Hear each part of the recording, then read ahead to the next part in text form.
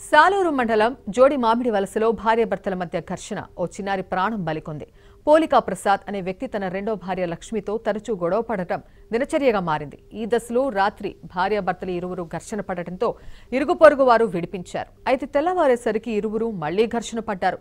దీంతో ప్రసాద్ మూర్ఖంగా వ్యవహరించి తన ఇద్దరు పాపలను సిరి ప్రవణి నేలకేసి కొట్టాడు. తన తండ్రి కసాయి కంటే హీనంగా ప్రవర్తించడంతో రెండేళ్ళ వయసున్న ప్రవణి ప్రాణాలు కోల్పోయింది. ఐదేళ్ళ వయసున్న సిరికి తీవ్రంగా గాయాలు కావడంతో ఆసుపత్రికి తరలించారు. చిన్నారులపై జరిగిన ఈ దారుణంతో గ్రామం షాక్కి గురైంది.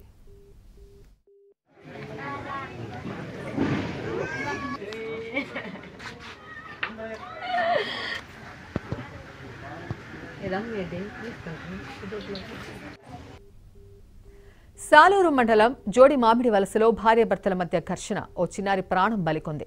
పోలికా ప్రసాద్ అనే వ్యక్తి తన రెండో భార్య లక్ష్మితో తరచూ గొడవ పడటం దినచర్యగా మారింది. ఈ దశలో రాత్రి భార్యాభర్తలు ఇరువురు ఘర్షణ పడటంతో ఇరుగు పొరుగు వారు విడిపించారు. అయితే తెల్లవారేసరికి ఇరువురు మళ్ళీ ఘర్షణ పడ్డారు. దీంతో ప్రసాద్ మూర్ఖంగా వ్యవహరించి తన ఇద్దరు పాపలను సిరి ప్రవణి నేలకేసి కొట్టాడు. తన తండ్రి కసాయి కంటే హీనంగా ప్రవర్తించడంతో రెండేళ్ళ వయసున్న ప్రవణి ప్రాణాలు కోల్పోయింది. ఐదేళ్ళ వయసున్న సిరికి తీవ్రంగా గాయాలు కావడంతో ఆసుపత్రికి తరలించారు. చిన్నారులపై జరిగిన ఈ దారుణంతో గ్రామం షాక్కి గురైంది